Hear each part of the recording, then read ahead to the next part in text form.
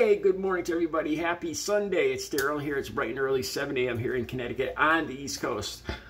All right, in the, yesterday's video, I think it was, I mentioned about how I stopped for a conversation with some a group of people. There's several areas around here where people congregate on nice days, and I mentioned in a video how I stopped and chatted, and it turned out that uh, they were a group of uh, conservative uh, Republican Trump supporters. I was the only Democrat. And it was an interesting conversation. I didn't really get more into it in my other video, but I, there's there's a, there's something I have to talk about, and this is important because these people these people firmly believe that Donald Trump is going to run again in 2024, and in their head, the uh, let me just go over what, what they talked about. All right, I was going like I said, I was going by on my bike, and what started this whole thing, this whole conversation one of the guys yelled over to me, Hey, Daryl, come here. So I came over and they said, the first thing out of their mouth was, How do you like Biden now? You know, they thought they had me. You know, they expected me to hang my head in shame and go, oh, you know, I'm a, I'm a, I'm a converted Trump supporter. I, I don't know what they, they expected me to say.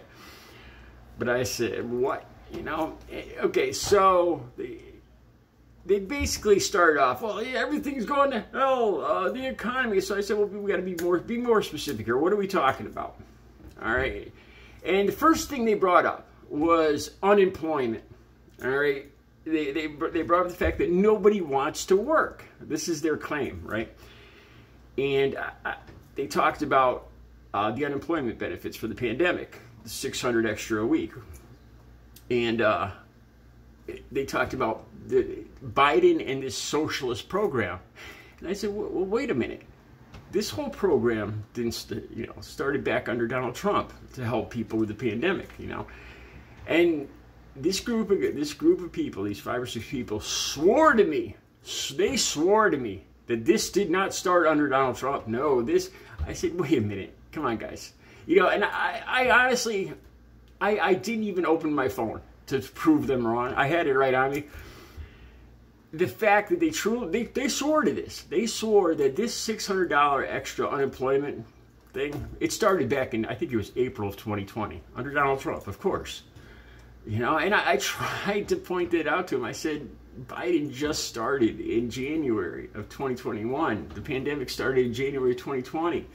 People were laid off, uh, unemployed that year. I, you know, this $600. And then I mentioned to him too, well, it's the Democrats, you know, it, it's the socialist Biden. And I said, no. And I said, on top of that, wait a minute. I said, Donald Trump was president when it started. And on top of that, the Republicans were in control of the Senate too.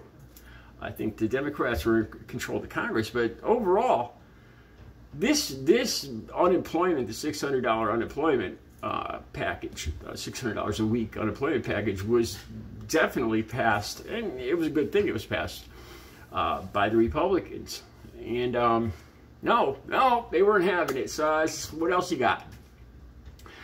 They brought up Afghanistan. They brought up how there's thousands of Amer- Biden's leaving these poor Americans in Afghanistan. Thousands, tens of thousands of Americans. How could he do that? This reeked of the whole Benghazi thing again. And I said, wait a minute. I, I said, if Donald Trump was president right now, you guys would be saying, "Oh, those guys, those those, what were these people bringing their families there for anyway?"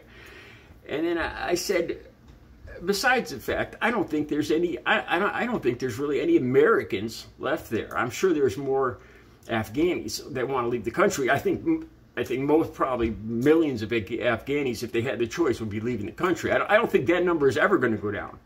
because if all the Afghanis that wanted to leave, if they left, there would be no more country. Um, you know, we can't fix everything. But as far, as far as Americans, so I'm trying to find this number because I said I, I don't think there's any Americans left there. I think any Americans that really wanted to get out have gotten out.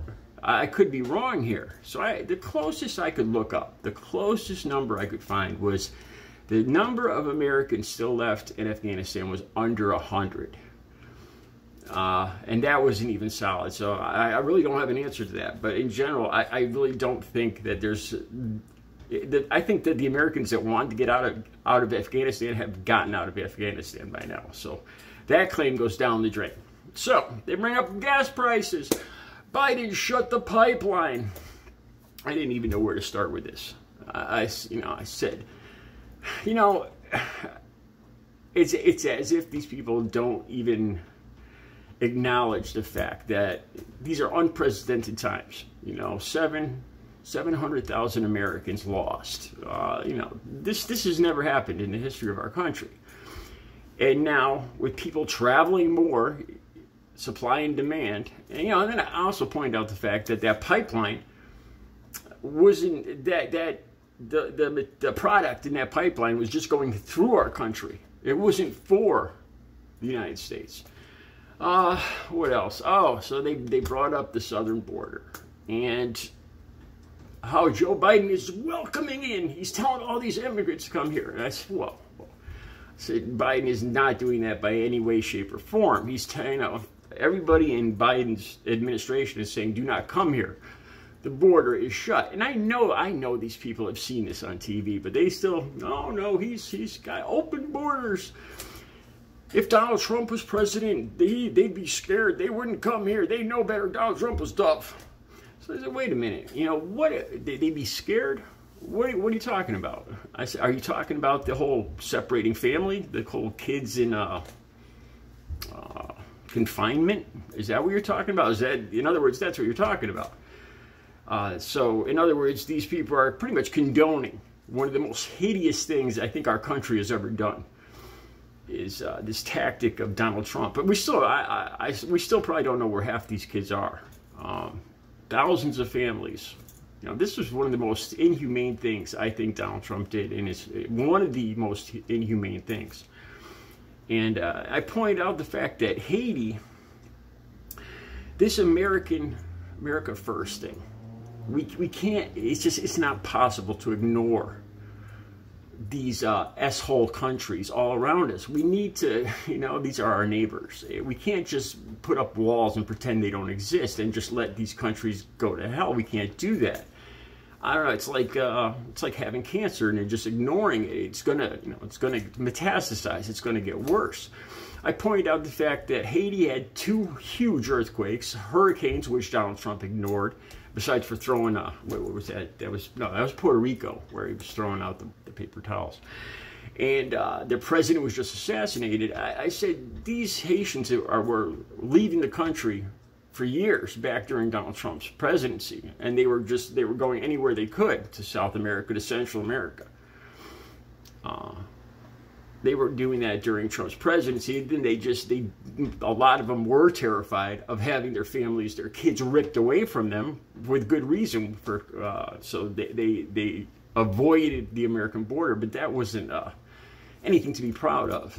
Donald Trump uh, tearing apart families. The key thing, eh, they, oh, and then they brought up uh, the supply, the uh, container ships off California.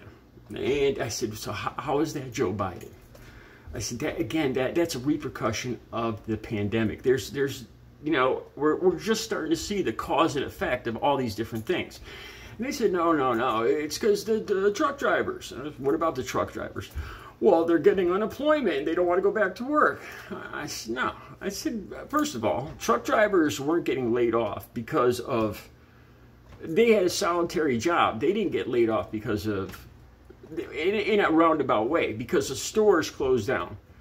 So during the pandemic, a lot of stores, when everything shut down, they didn't need truck drivers, and that that caused a lot of truck drivers to, of course, have to find other work. Um, and then, of course, the uh, uh, Americans buying things, uh, buying furniture and products and cars in, in numbers we never saw before because they, you know, during the pandemic, they stopped going traveling and they stopped going out to eat. None of these things are, are Biden's fault. You know, these are results of a pandemic, a worldwide pandemic that's unprecedented in, in our, our country's history.